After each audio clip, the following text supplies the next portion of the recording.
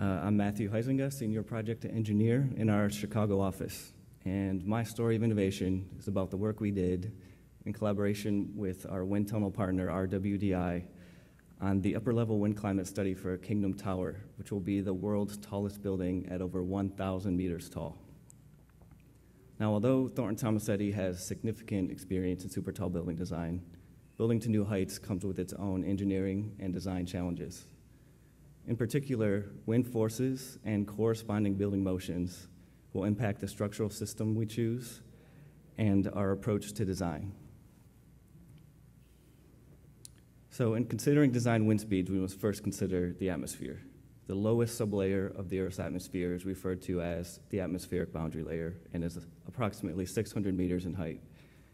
Now, in this sublayer, the airflow is directly affected by the Earth's topography, so therefore the airflow is turbulent.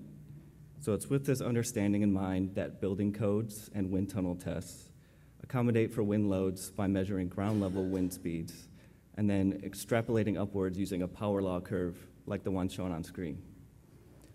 However, Kingdom Tower extends to even higher reaches of the atmosphere into a layer known as the planetary boundary layer.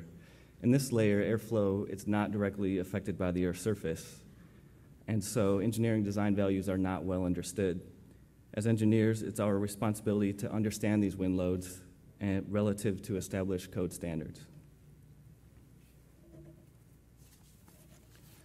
So therefore, we commissioned our partners at RWDI to complete a three-part wind climate assessment. First, historical surface wind measurements were studied. Hourly wind speed information has been collected at the nearby King Abdulaziz International Airport anemometer station since 1983. This wind data was analyzed and adjusted to account for local uh, terrain obstructions or building obstructions. Similarly, historical weather balloon sounding data was reviewed. Now, unlike ground anemometers, weather balloons, like the one pictured at center, record wind inf- information at various heights as the balloon rises. So, therefore, based on this data, the frequency of wind speed at various elevations can be accurately estimated. Third, a weather research forecast model was enacted. Now, in simple terms, a WRF is simply a computer model to simulate atmospheric circulation. The model contains a 3D grid of weather data encompassing a given area. So the model was executed in an area centered over the Arabian, Arabian Peninsula, which includes the tower site, and analytical results were used to estimate wind speeds over the one kilometer building height. So the results of the climate assessment are shown on screen. The red curve represents code level ground wind speeds that are extrapolated upwards using the power law curve I discussed earlier. This is what we use for strength design of the building. The climate study results, both the weather balloon and the WRF, demonstrate comparably lower wind speeds, meaning we can be sure the code values are demonstrated to be sufficiently conservative along the entire building height. The climate study results are also used for consideration of building motions.